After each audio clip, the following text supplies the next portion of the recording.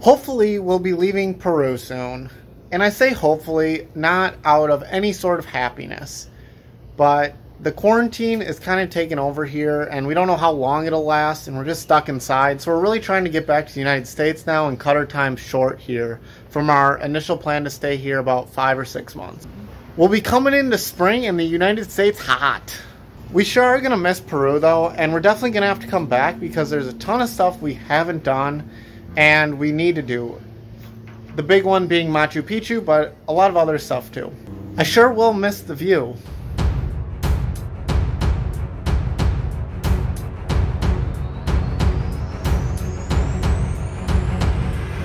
There's a total of one flight left to the United States for repatriation from Peru, and that is on April 21st, which is going to be about a week and a half ago.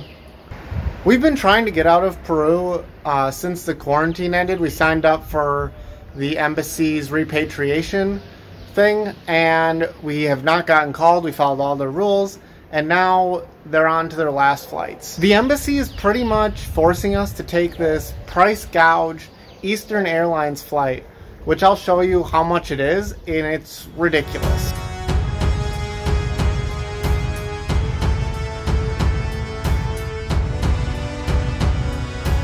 Over $2,000 per person.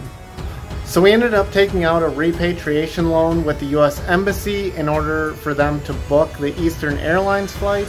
And so tomorrow, April 21st, we're going to be flying out to Miami it's going to be an all-day thing. There's going to be no food on the plane, no food at the hangar, nothing. We're flying out of a military base. So we're bringing snacks, we're bringing water. Uh, we're going to hope it's a good day, but it's going to be really tiring.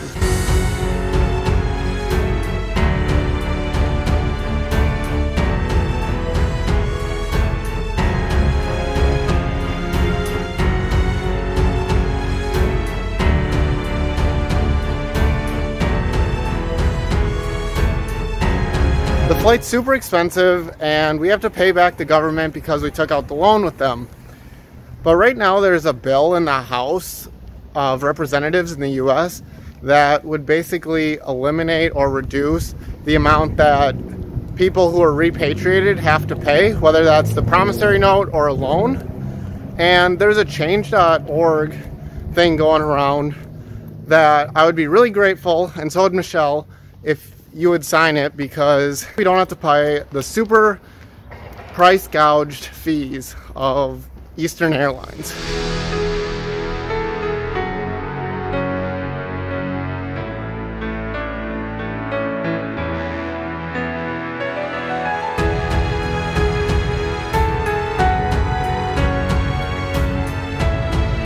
Then in Miami, we don't know what time we're exactly landing, but we're probably going to be landing late at night so we're just gonna sleep in the airport, which sucks.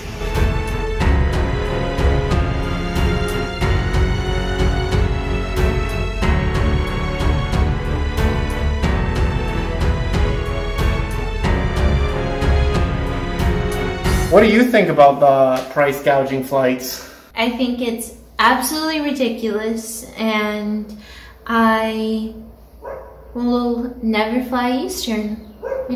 They just don't, they just haven't left a good taste in my mouth.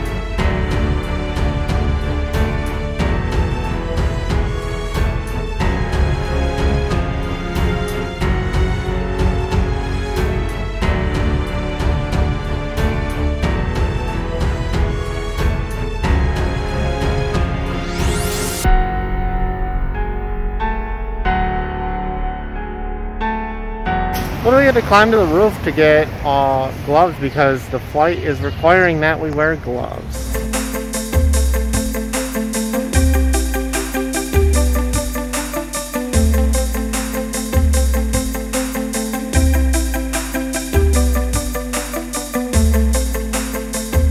Made it to the embassy and now we're waiting in line for the flight.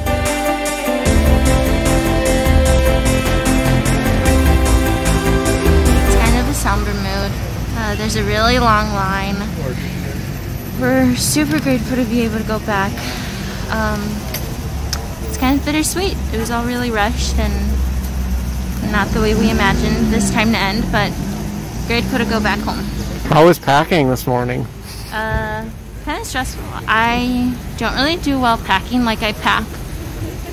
I usually prepare myself mentally for a week, and I didn't really get that chance, so um, I almost fell down the stairs with our suitcase, but.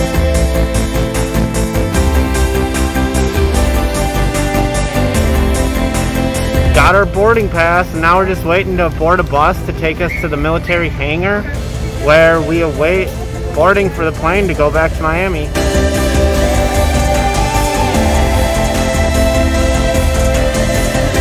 We've been here just over an hour and it's starting to get a bit warm but it feels really good.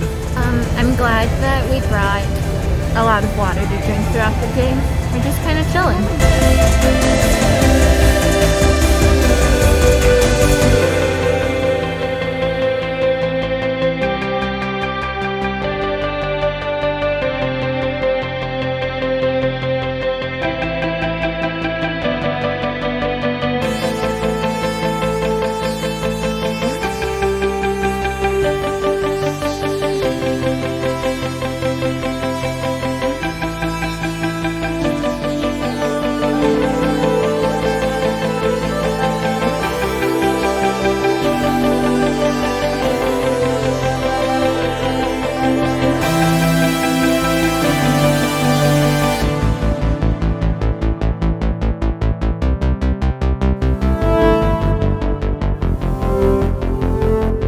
After a couple of hours of waiting in the hangar, we're finally boarding the plane. How do you feel? Um, it's kind of surreal. I can't believe we're going back to America.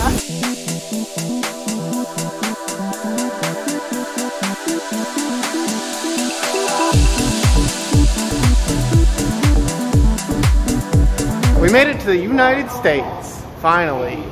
And we're really tired Got a night in the Miami airport tonight, and then our flight departs early in the morning.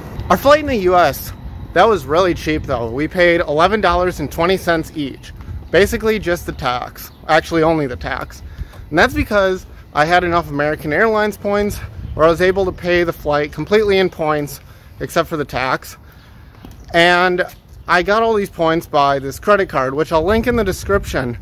Uh, if you want to get these points for travel in the future on American Airlines, sign up with the credit card. It's really easy.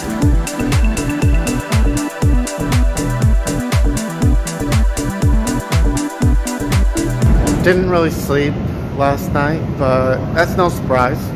I've actually slept in this airport once before back in I think 2009 when we went on a when I went on a family cruise in the Caribbean and we stayed over in Miami's airport because we flew in really late.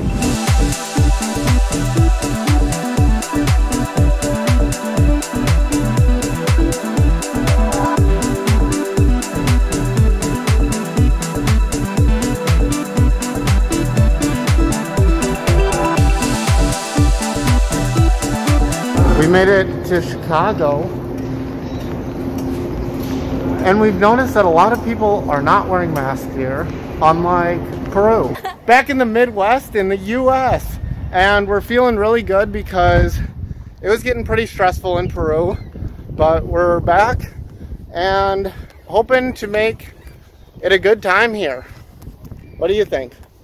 I'm excited. I'm excited and grateful and happy to be back. Um, and I'm also excited for the next time we can travel. We're also a little bit sad to leave Peru because it's an amazing place.